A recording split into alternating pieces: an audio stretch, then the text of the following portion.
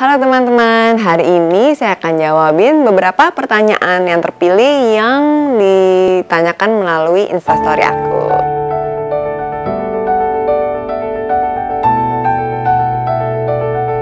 diet mengenai diet satu orang dengan yang lain itu emang ada perbedaan.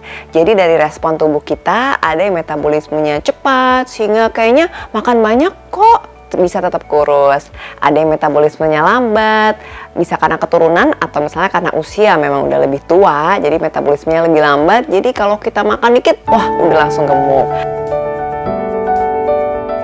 Nutrisi tentunya karbohidrat. Pilihlah karbohidrat yang kompleks, protein penting banget terutama dari ikan-ikanan, tahu tempe, e, lemak. Pilihlah lemak yang tidak jenuh, yang bagus seperti apukat, kacang-kacangan, olive oil, dan juga vitamin ya. Vitamin itu dari buah-buahan dan sekarang perlu diperhatikan juga vitamin D itu banyak yang kekurangan karena kita kan orang Indonesia takut panas-panasan. Nah, kadang-kadang kurang cahaya matahari yang baik yaitu jam 9-10 sehingga vitamin D-nya suka kurang.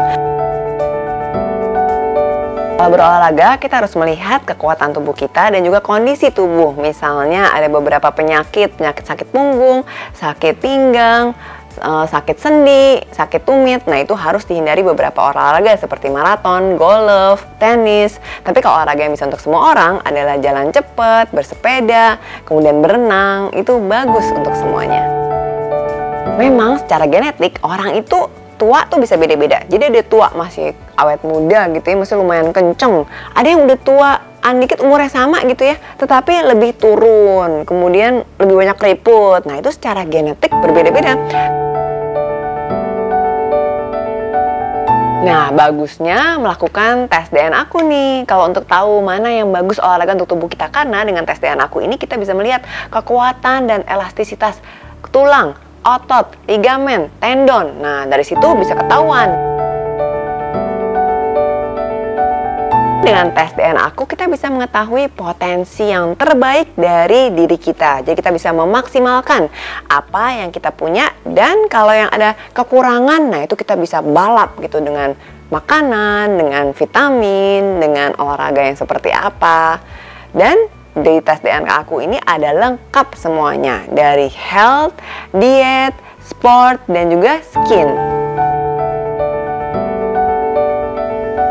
Benar, nanti akan dikasih report di mana semua akan ditulisin apa aja kelebihan-kelebihan yang bisa kita capai sehingga kita bisa memaksimalkan puncak optimal ke kemampuan tubuh kita dan juga ada tulisan report resiko-resiko apa yang tubuh kita itu mudah terkena sehingga nanti juga ada ditulis reportnya rekomendasi apa solusi-solusi yang harus dilakukan agar resiko-resiko itu bisa segera dicegah dan tidak terjadi. Terima kasih teman-teman atas pertanyaannya dan sampai jumpa.